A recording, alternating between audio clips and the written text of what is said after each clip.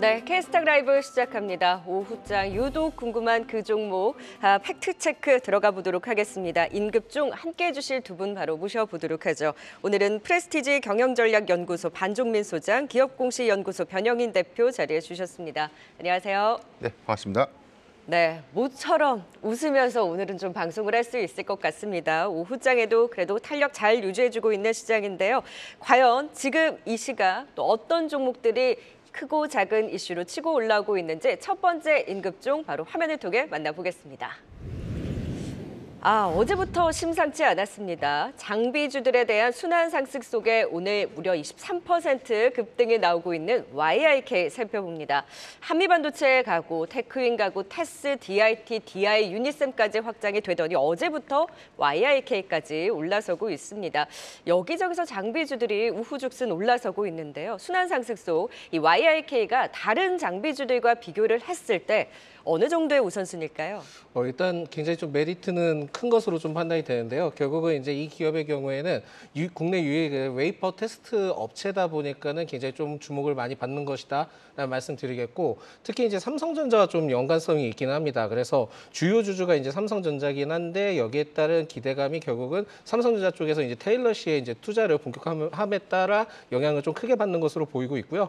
금일 이렇게 좀 상승하는 이유는 뭐냐면은 리포트가 하나 나오긴 했습니다. 네. 그래서 HBM 뭐 경쟁 심화가 한국 장비사들에게 기회 요인이 될 것이라는 증권가의 이제 전망이 나왔다 보니까 여기에 따른 그 기대감이 좀 상당히 있다 보시면 될 것 같고 특히 이제 웨이퍼 테스트 수혜주로서 이제 동사와 DI를 꼽았는데 네. 굉장히 여기에 대한 포인트를 봤을 때는 추가 상승할 수 있는 여력은 네. 충분히 있지 않을까라고 보고 있고요. DI 뽑고 그다음에 YIK를 뽑는 거군요. 예, 그렇습니다. 네, 그래서 주가상으로. 여- 예, 그렇다 보니까는 지금 은 반도체 장비에 대해서는 삼성전자와 연관된 기업들은 계속 하면 순환매적인 음. 흐름들을 좀 노출시키지 않을까라는 말씀 드리겠고 특히 이제 삼성전자와 네이, 낸드 웨이퍼 테스트 테스터에 대해서 공동 개발을 했던 이력이 있다 보니까 더 시장에서 세게 부각을 받는 것이다라고 보시면 될 것 같습니다. 그래서 지금은 이 YIK의 경우에는 추가 상승할 수 있는 여력은 좀 더더 남아 있기 때문에 기존에 좀 보유하셨던 분들은 계속 좀 가져가 봐도 되지 않을까라는 네. 말씀 드리겠고요. 만약에 여기에서 뭐 추가 그 관련된 그 투자 포인트를 좀 짓는다 하면은 어 동사의 자회사가 또 있습니다. 네. 그 동사의 자회사가 그 샘CN 샘CNS거든요. 네. 그 기업도 같이 좀 주목을 해보면 좋을 것 같고 아. 차트의 흐름도 그렇게 나쁘지 않기 때문에 오히려 지금은 YIK를 좀 놓쳤다 하면은 샘CNS도 같이 좀 주목을 하고 접근을 해보셔도 될 것 같다라는 말씀드립니다. 네. 네, 신규 매수는 다소 좀 부담스러운 단계 급등이기는 하죠. 네, 그렇습니다. 네, 일단은 보유자의 관점. 그러면 이제 상대적으로 덜 오른 계속해서 장비주라든지 다른 쪽에서 찾는 전략도 계속 유효하겠네요. 아마 계속 이러한 흐름들이 계속 노출이 될 거기 때문에 지금은 순환매적인 흐름들을 봤을 음. 네. 때는 충분히 다른 쪽에서도 기회가 있다 보니까 네. 이 점을 좀 참고하시면 좋을 것 같습니다. 그래요. 지금 반도체 장비 특히나 HBM뿐만이 아니라 AI 반도체로 이제 확장되는 종목들이 순환 상승에 나오고 있기 때문에 이 중에 내가 어떤 종목을 가지고 있다. 하지만 내 종목이 아직 오르지 않았다라고 하더라도 내 차례가 올 수 있다라는 거죠. 일단 급등한 YRK는 보내주고 자회사에 대한 관심뿐만이 아니라 추가 상승 여력에 대한 긍정적인 분석으로 보유자의 보유 관점 말씀 주셨습니다. 자 이번엔 두 번째 인급종입니다. 이 종목도 오전부터 급등하고 나서 계속해서 탄력 잘 유지해주고 있습니다. 자 펩트론 살펴보죠. 오늘 바이오주 전반적으로 흐름이 좋고요. 그 안에서도 비만 관련한 종목들이 펩트론의 급등과 함께 동반 상승세가 나오고 있습니다.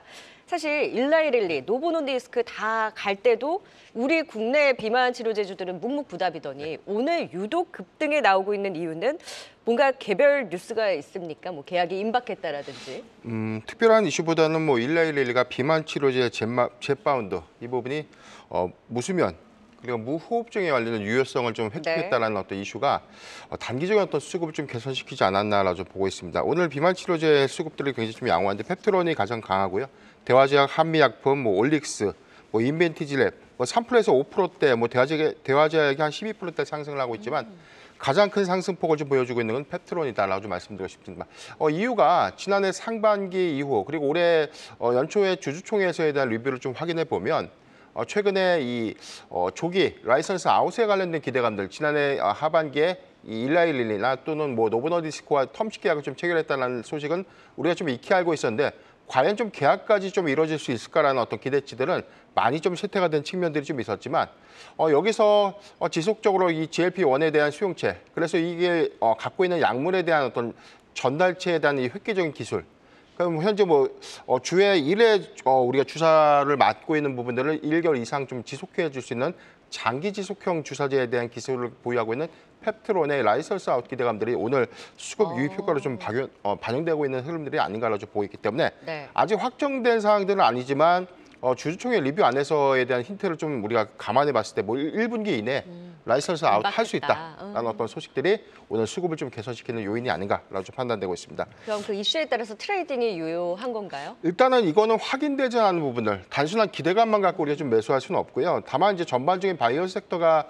어, 이 금리 인하의 기대감들이 좀 쇠퇴된 환경에서 투자 심리에 관련된 요인으로 좀 억제 요인으로 좀 작용될 수 있는 측면. 그리고 추세선 같은 경우에도 지금 2만 5천 원대를 좀 이탈했던 이후에 반등이 좀 나왔기 때문에 아직은 추세를 완벽하게 좀 회복을 했다라고 좀 보기는 어렵습니다. 네. 다만 현재 구간 안에서 240일선을 어, 좀 강하게 좀 유지해 준다면 여기서 추가적인 어떤 이 license out 기대감들이 가시화되는 측면 안에서는 오히려 추가적인 상승 탄력은 좀 가능하겠다라고 좀 보여지지만 어, 저는 현재 구간은? 어, 조금 더 가져가도 괜찮지 않을까라고 네. 좀 판단되고 있습니다. 하지만 오늘 이제 급등 이후 연속성을 가져가는지 여부에 대해서는 확인을 할 필요가 일단 보유에 대한 관점 그리고 아, 과연 기술 수출이라든지 계약이 좀 임박한 것인지 일단 기대감으로 오늘의 급등에 나오고 있는 펩트론에 대한 진단까지 들어봤습니다. 네, 계속해서 과연 또 이 시각에는 어떤 종목들이 VI가 발동되고 있을까요? 11시 경쯤에 또 S바이오메드가 우리 많이 살펴봤던 임급중 종목이었는데 좋은 움직임 상한가 잘 지켜내고 있고요. 지금 또 현 시장 분위기까지 같이 살펴보도록 하겠습니다. 자, 권미정 캐스터 네, 시황센터 권미정입니다. 오늘 우리 시장 오후 들어서도 굳건한 상승세 이어나가고 있습니다. 코스피는 외국인과 기관의 사자세 1.63% 상승 2,626선을 지나고 있습니다. 어, 12시경에는 장중 고점을 형성하면서 2,630선을 넘어가기도 했습니다만 지금은 2,620선 후반대에서 안정적인 흐름 이어나가고 있습니다. 코스닥도 양 주체가 시장을 매수하면서 2%가 넘는 강한 흐름 이어오고 있습니다. 환율과 유가가 하향 안정화되면서 오늘 850선까지 올라온 코스닥입니다. 오늘 11시경 환율이 가파르게 내려가면서 15원 넘게 하락하기도 했는데요. 전 세계 외환 당국에서 달러 강세 우려를 표하면서 여기에서 달러 매수 포지션 청산이 쏟아졌기 때문입니다. 현재 환율 어제보다 13원 50전 내려서 1373원 선에서 거래되고 있습니다. 이어서 VI가 발동된 종목들 확인해 보겠습니다. 변동성 완화 장치라고도 불리죠. 단기간 내 주가가 변동할 경우 잠시 거래가 정지되거나 단일가로만 매매할 수 있게 전환되는 건데요. 오전장과 오후장 특징적인 VI 종목들 확인해 보겠습니다. 네, 오늘 전력 설비주와 전선주들 오전장에 이어서 오, 오후장에 더 탄력을 보이려는 걸까요? 이 1시가 가까워지면서 세명 전기와 LS 또 제일전기공업이 상승 VI가 발동되면서 섹터에 힘을 불어넣고 있습니다. 현재 제일전기공업이 19% 급등하고 있고요. 세명전기와 LS 각각 15%와 10%대 강세를 나타내고 있습니다. 이어서 오늘 조선주들 흐름 좋죠. 이 고환율이 조선산업에는 호재인 데다가 견조한 발주로 업황 개선이 지속될 거란 긍정적 전망이 나오고 있습니다. 오늘 조선업계가 고부가 선박인 LNG 운반선 수출 500호를 달성하는 신기록을 세웠는데요. 현재 하나오션의 주가는 14% 급등하고 있습니다. 마지막 특징 좀 살펴보겠습니다. 오늘 제주 맥주와 와인 유통사 나라셀라, 또 국순당 등 주류 삼총사의 움직임이 좀 특징적입니다. 세 종목 모두 12시경을 전후해서 상승 VI가 발동이 됐는데요. 제주 맥주는 어제 25% 급락하면서 변동성이 컸고요. 또 국순당도 12시 30분경 상승폭을 다 반납했습니다. 상승과 하락이 큰 만큼 투자에 유의하시길 바라면서 소개합니다. 지금까지 시황과 VI 특징주 전해드렸습니다. 네, 오후장 들어서 전력과 조선주들에 대한 빨간불이 더욱더 짙어지고 있는 상황이네요. 계속해서 VI가 발동된 이후 탄력 가져가는 세 번째 인급중 확인해 보도록 하겠습니다. 지금 이 시각 또 인기 급상승하고 있는 종목, 오늘 미국의 중국 대리기 속의 철강 알루미늄주들 강하고 그리고 조선과 바이오 섹터까지 반사의 기대감이 확산되고 있습니다. 그 안에서 바이넥스, 어, 과연 미중 갈등 수혜 이슈로 조금 더 힘이 지속이 될 수 있을지 아니면 단기 하루 급등에 그칠지 진단 들어보도록 하겠습니다. 바이넥스 하면 ST팜 삼성바이오랑 같이 묶어서 이 이슈에 좀 움직이잖아요. 오늘의 급등이 좀 의미가 있을까요? 어, 저는 개인적으로 좀 의미는 있다라고 생각이 들다 보니까 좀 더 더 가져가 보셔도 괜찮지 않을까라는 말씀을 먼저 드리겠고 이게 좀 아이러니합니다. 그러니까 중국에 대해 철강 관세에 대해서 상향 가능성에 대한 내용이 나오면서 반사수혜 그리고 최근에는 이제 그 앨런 장관이 이제 중국 다녀오면서 태양광에 대한 반사수혜 네. 그리고 이제는 여기에 바이오 쪽까지 반사수혜가 지금 부각되는 것 같거든요. 그러다 보니까는 이 기업의 경우에도 결국은 국내 CMO 기업으로 좀 유입이 될 것으로 좀 예상이 되다 보니까는 결국 지금 그 매수세가 좀 나와주는 것 같은데 사실 이 기업의 경우에는 지금 이 특징만 있는 건 아닙니다. 그래서 셀트리온과 굉장히 좀 바이오 시밀러 관련된 그 내용들이 좀 있었기 때문에 여기에 따른 기대감이 아직까지 좀 남아 있다 보시면 될 것 같고요. 전체적으로 지금 환율의 환율이 좀 어느 정도 하락세를 좀 보여주는 것도 어떻게 보면 제약 바이오 쪽에 긍정적인 역할을 한 것이 아닌가라고 좀 생각이 들 수 있을 것 같습니다. 그래서 지금은 이 기업의 경우에는 반사수에 따른 게 첫 번째 포인트였다라고 좀 생각하시면 좋을 것 같고 아직까지는 추가 상승할 수 있는 여력을 봤을 때는 결국은 셀트리온과 관계를 따졌을 때 추가 상승할 수 있는 여력은 좀 더 더 남아 있기 때문에 기존에 좀 보유하셨던 분들은 좀 더 더 가져가 봐도 되는 타이밍이다라는 말씀을 드리겠습니다. 그럼 그 반등을 이용해서 비중 조절이 필요한 건가요? 어, 일단 여기에서 만약에 급상승을 한 번 더 하게 되면 은 그때는 좀 비중 조절을 하시는 게 좋지 않을까 라는 말씀드립니다. 그럼 미중 갈등 속에 조금 더 확장돼서 좀 더 추가 상승에 대한 여지를 가져갈 수 있다. 지금 바이넥스는 어, 보유자에서는 좀 유효하긴 하지만 신규 매수에 있어서는 그 매력도는 어느 정도인가요? 어, 신규를 만약에 이제 접근을 하신다 하면은 적은 비중이면은 충분히 가능할 수 있을 것 같은데 이벤트 플레이를 좀 하셔야 될 네. 것 같습니다. 그렇다 보니까 어, 지금 방송을 계속 좀 시청을 하시면서 그 이벤트 타이밍을 좀 노리고 접근하셔야 되지 네. 않을까. 그러니까 한국경제 TV를 자꾸 보- 봐주셔야 된다라는 말씀드립니다. 홍보까지 해주시는군요. 네.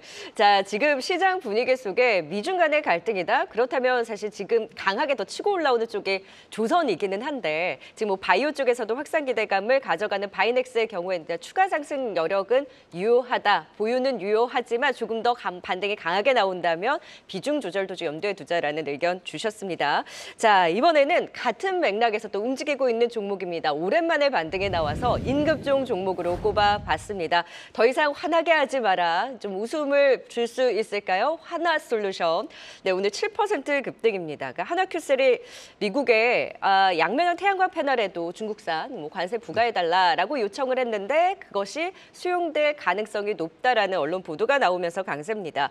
좀 웃을 수 있을까요? 더 이상 화나게 하지 않고. 네, 공교롭게도 어제 24,100원 52주 신저가를 좀 기록하고 난 이후에 오늘 7%대 반등이 좀 나왔기 때문에 사실 이 양면형 패널에 관련된 관세 이 철폐 부분을 어, 제외시켜 달라는 요청 이 부분을 미국 정부가 좀 수용할 수 있는 가능성이 좀 커진다라는 기대감들이 수급 여건을 좀 개선시켰지만 1분기 실적에 관련된 우려감들은 조금 더 남아 있지 않나라고 좀 보고 있습니다. 전체 매출은 어, 9.9% 정도 감소가 좀 예상되고 있고 1분기 영업이익이 적자 전환이 좀 예상되고 있기 때문에 중국의 이 공급 과잉 여파 이 부분은 올해 상반기까지에 대한 이 중국 수출 규제 부분까지가 허용되는 시점이기 때문에 하반기부터는 중국산 저가 패널과 이 웨이퍼가 좀 공급되는 부분들이 원천적으로 좀 제한적으로 좀 공급될 수 있는 요인들 이 부분을 좀 감안한다면 하반기 실적 개선은 좀 이루어지겠지만 상반기까지는 하나 솔루션이 어, 굉장히 실적적인 측면에서의 고전이 좀 어, 고전이 좀 심화되지 네. 않을까를 좀 보고 있습니다.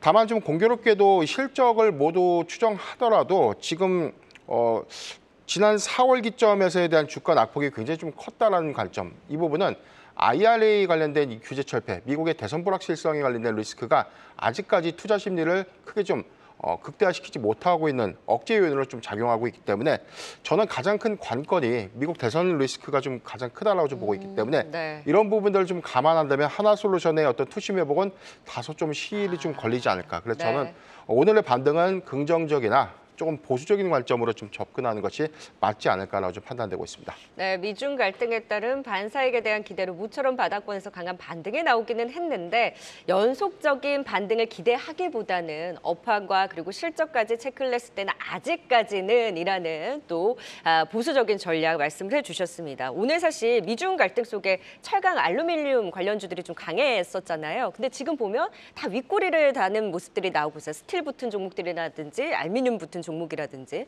포스코 홀딩스는 그래도 탄력이 괜찮은데 여기도 단기 이슈로 봐야 되나요? 어, 일단 단기 이슈로 좀 체크를 하시는 게 뭐냐면은 일단 우리나라는 철강 쿼터제를 좀 진행을 하고 있기 때문에 이 지금 이러한 그 어, 관세 세배 인상 추진에 따 그 추진에 따른 내용을 바- 부각받았기에는 아직까지 좀 어렵지 않나 보고 있고요.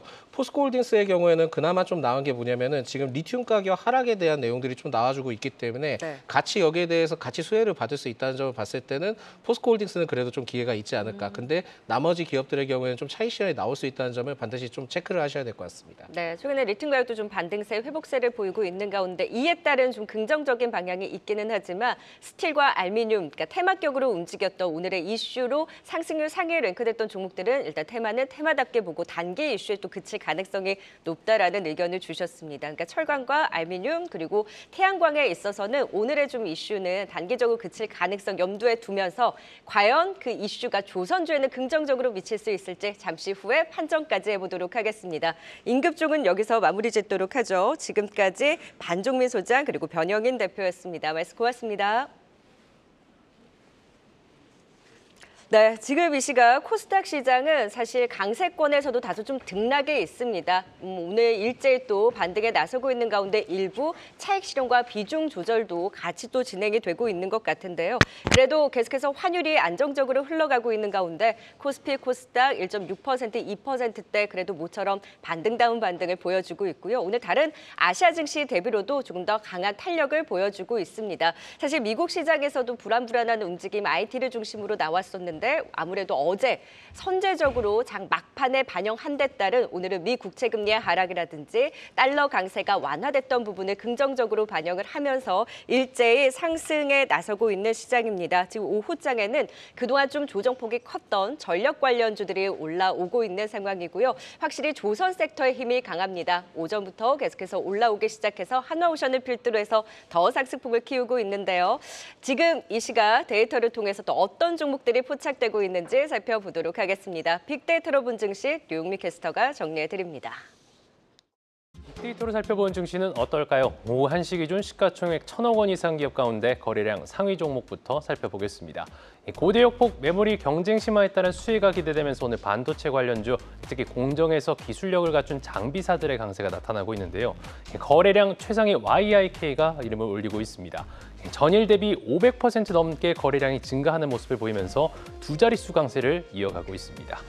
미국이 중국의 불공정 무역 관행을 견제하기 위해 중국산 철강과 알루미늄 제품에 대한 관세를 세 배 이상 인상하는 방안을 추진하면서 오늘 철강 관련주부터 비철금속 알루미늄 관련주들이 강한데요.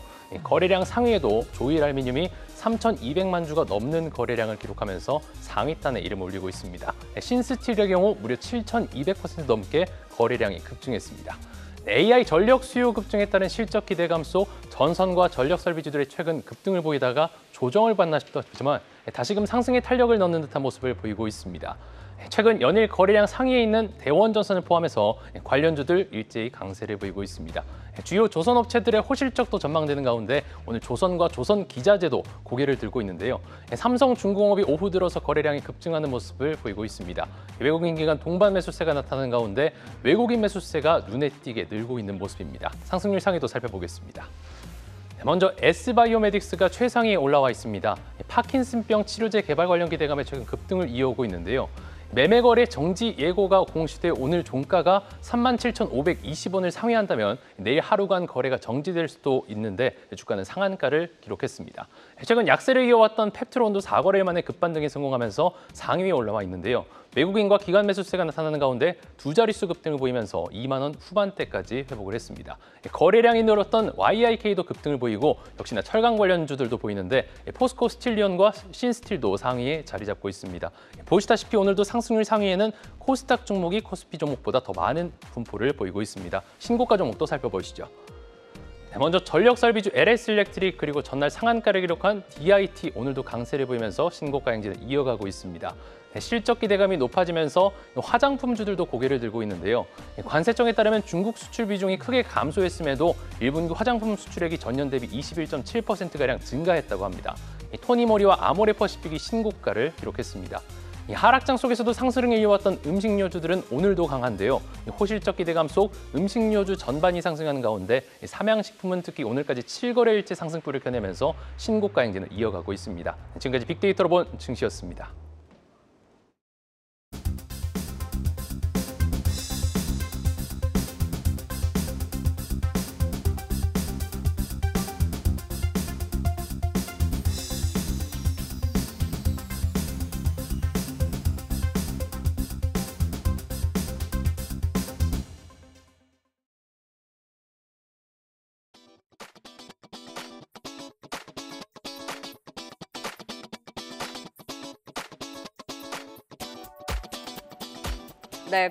빅데이터로 본 증시 오후장 포착된 그 종목에 대한 판정도 이어가 보도록 하겠습니다. 위즈웨이브 이권희 대표 휴먼자산운용 윤여민 이사 나오셨어요. 안녕하세요.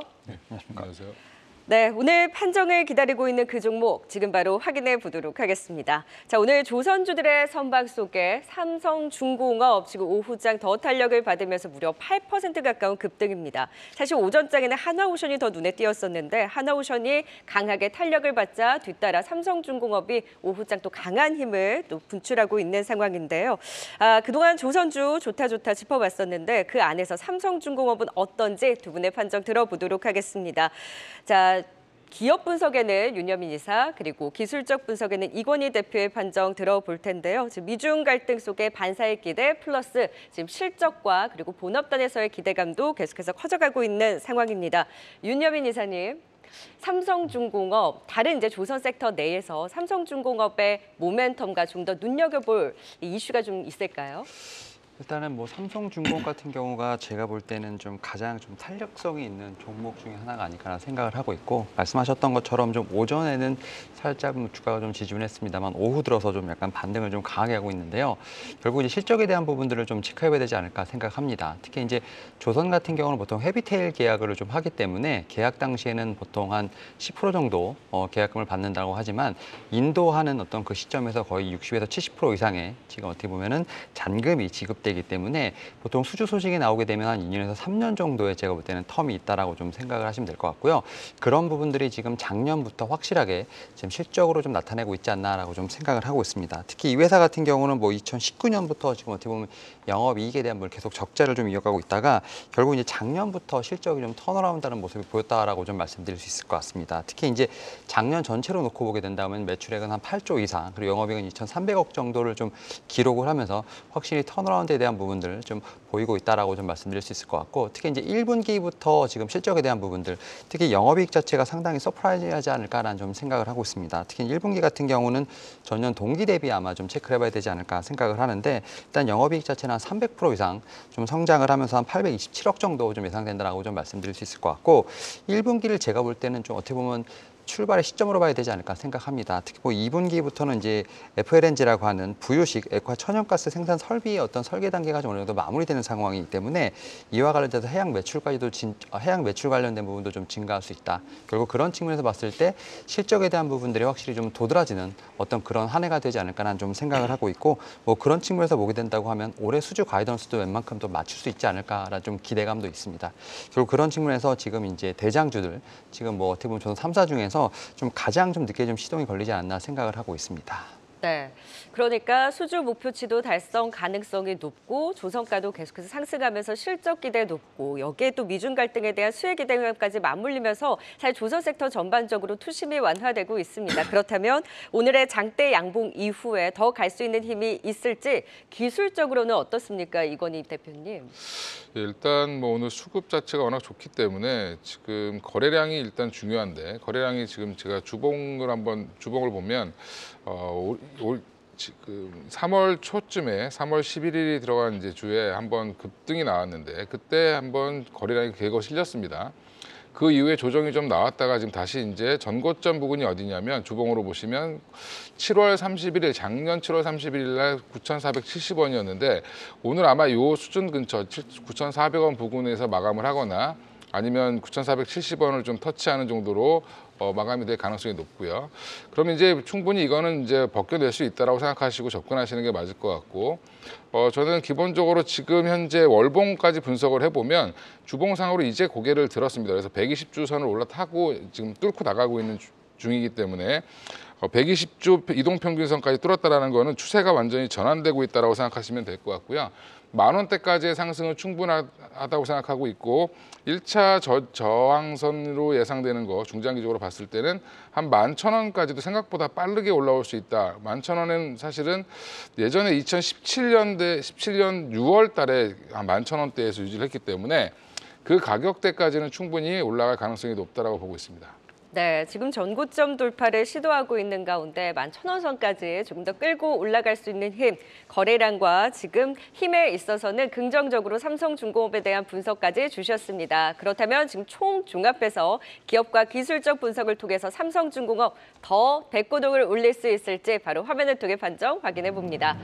네, 지금 뭐 답이 딱 나온 것 같습니다. 오늘 강한 탄력을 받고 있는 조선주 내에서 삼성중공업 더 달릴 수 있는 힘에 대한 공통된 의견을 주셨는데요. 기업 분석의 한마디를 조선 3사 중 가장 탄력적인 종목이다. 그래서 더 달릴 수 있다라고 꼽아주셨으면 탑픽으로 보시는 거네요, 윤여민 이사님. 네, 저는 뭐 조선 3사 중에서 삼성중공업을 좀 탑픽으로 좀 말씀드릴 수 있을 것 같고요. 사실 이 종목 같은 경우 뭐 앞에서 기술적 분석을 해주셨습니다만 사실은 이 마디마디에서 좀 상당히 좀 주가가 좀 탄력적으로 버티고 있지 않나라고 좀 생각을 하고 있습니다. 특히 5천 원대, 7천 원대 어떤 이런 부분에서 계속해서 좀 박스권을 좀 만들고 있는 상황이기 때문에 이번에 9천 원선을 올라가게 된다고 하면 또 다른 좀 어떻게 보면 저점을 올리는 좀 그런 박스권이 만들어지지 않을까라는 좀 생각을 하고 있고요. 뭐 그런 측면에서 보게 된다고 하면 뭐 기술적으로 봤을 때도 상승에 대한 부분들 또 수급적인 측면에서 봤을 때도 기관과 연기금 특히 이제 외국인의 매수가 계속 들어오는 상황이기 때문에 충분히 상승률은 있지 않을까라고 말씀드려보도록 하겠습니다. 네. 우리가 그간 인급중 판정 종목을 통해서도 사실 한화오션, 한화 엔진까지 더 달릴 수 있는 힘에 대해서 긍정적인 분석을 들어봤었고 오늘 또 장대 양봉으로 좋은 움직임 보여주고 있는데 삼성 중공업도 더 달릴 수 있다 하면 아, 이거인 대표님 그럼 매수 타이밍을 어떻게 잡아봐야 되나요?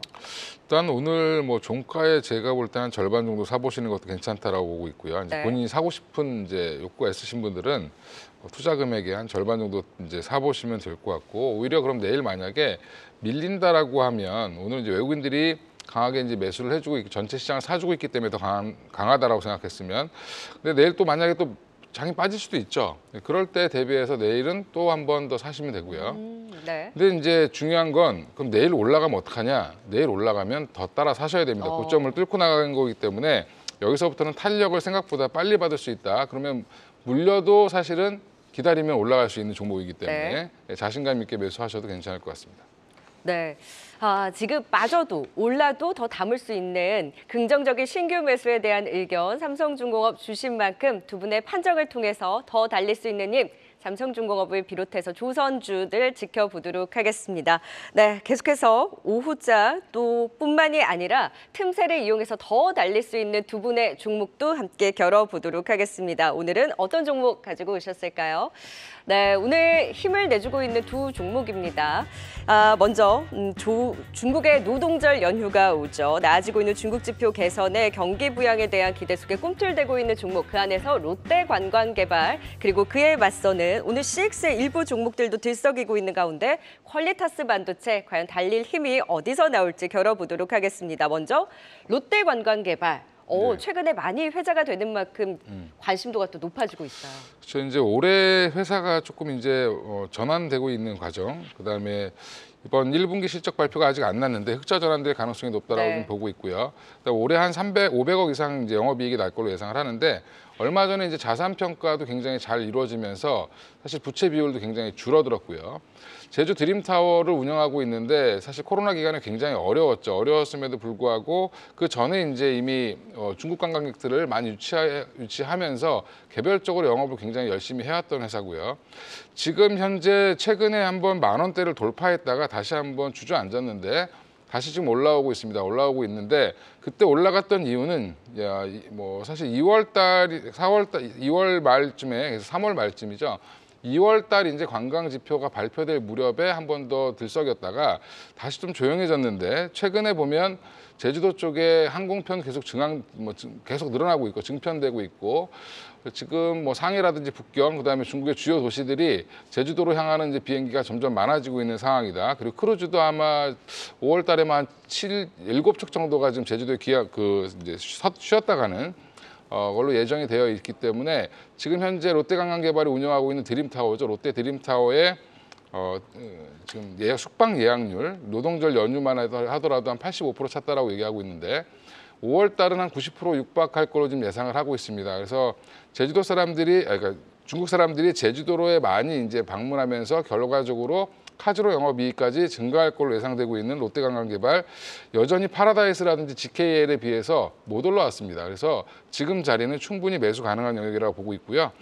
목표가는 좀 길게 보시면 한 13,000원까지는 언제든지 튈 수 있다. 네. 예전에 13,000원에서 내려올 때 거의 저항 없이 내려왔기 때문에 그때까지는 거의 매물이 별로 없다라고 생각하시고 접근하셔도 될 것 같고요. 어, 손절가는 8,000원으로 잡으시면 될 것 같습니다. 네. 이권희 대표님 요즘 종목들은 굉장히 좋거든요. 글로벌 텍스프리도 그랬고 사실 우리 인급 쪽에서 살펴봤던 DI는 빠져도 올라도 사야 된다라고 했는데 제대로 또 시세에 분출하지 않았겠습니까? 오늘의 종목 롯데 관광개발도 기대를 걸면서 지켜보도록 하고요. 이에 맞서는 퀄리타스 반도체입니다. 어, CXL 관련주 좀 들썩이고 있는데 지금 시점에서 퀄리타스 반도체를 주목하는 이유 어디에 있을까요? 사실 이제 반도체에서 확실히 좀 순환매가 좀 빠르게 돌고 있다라고 좀 생각이 듭니다. 특히 이제 뭐 HBM을 시작으로 해서 뭐 on-device에 뭐 CXL이 한번 좀 어떻게 보면 작년부터 뭐 수급이 좀 돌았고 오히려 HBM, HBM 관련된 종목들이 한 6개월 정도 쉬는 사이에 다시 또 이제 반등이 나오고 있는 상황. 요 또 최근 같은 경우는 또 디램 관련된 뿐만 아니라 또 낸드 여기에 또 비메모리뿐만 아니라 메모리까지도 좀 계속해서 순환매가 돌고 있는 상황이기 때문에 좀 어떻게 보면은 첫 번째 좀 시세를 냈던 CXL 관련된 쪽도 다시 한번 순환매가 돌 수 있지 않을까라는 좀 네. 생각은 하고 있고요. 여기에 대해서 이 퀄리타스 반도체 같은 경우는 뭐 IP 회사라고 합니다만 거의 이제 삼성전자 관련돼서 지금 CXL 관련된 좀 회사로 좀 계속해서 좀 시장에서 인식이 되고 있다라고 좀 볼 수 있을 것 같습니다. 특히 이제 뭐 차세대 인터페이스 규격이죠. 어, PCL이 지금 6.0 파이를 지금 개발하고 있는 상황. 여기에 제가 볼 때는 좀 과학기술정보통신부랑 좀 국책과제를 좀 하고 있는 상황이기 때문에 이와 관련돼서 chiplet 관련된 인터페이스 개발도 좀 진행 중이다라고 말씀드릴 수 있을 것 같고 네. 최근에 삼성전자가 지금 CXL 관련돼서 거의 이제 플랫폼처럼 이제 세운 선보인 게 있습니다. 특히 이제 뭐 DRAM, NAND 여기에 또 이제 하이브리드까지 거의 이제 CXL 기반으로 솔루션을 지금 대거 선보인 부분이 있는데 이와 관련돼서 제가 볼 때는 뭐 제2의 HBM까지도 좀 얘기가 나오고 있는 상황. 그와 관련돼서 퀄리타스 반도체는 충분히 수혜를 다시 한번 받을 수 네. 있지 않을까 생각하고 있습니다. 네, 오늘 네오셈 TLB가 좀 움직였었고 퀄리타스 반도체도 나름 선방하고 있기는 하지만 최근에 좀 쉼의 움직임이 나왔던 데 따른 네, 최근에 뭐 장비주 워낙 급등이 나오고 있으니까 그 순환매가 나온다면 퀄리타스의 반도체의 반등도 기대해 볼 수 있겠죠. 오늘 롯데 관광개발과 퀄리타스 반도체 두 분의 종목 함께 겨뤄봤습니다. 다음 주 같이 또 승리 도장 어디에 찍힐지 기대를 걸어보도록 하죠. 네, 여기서 두 분과는 인사드리도록 하겠습니다. 지금까지 이건희 대표 그리고 윤여민 이사였습니다. 고맙 습니다. 계속해서 다양한 경제 이슈를 알고 싶다면 구독과 좋아요, 알림 설정 부탁드립니다. AI 캐스터 권미정이었습니다.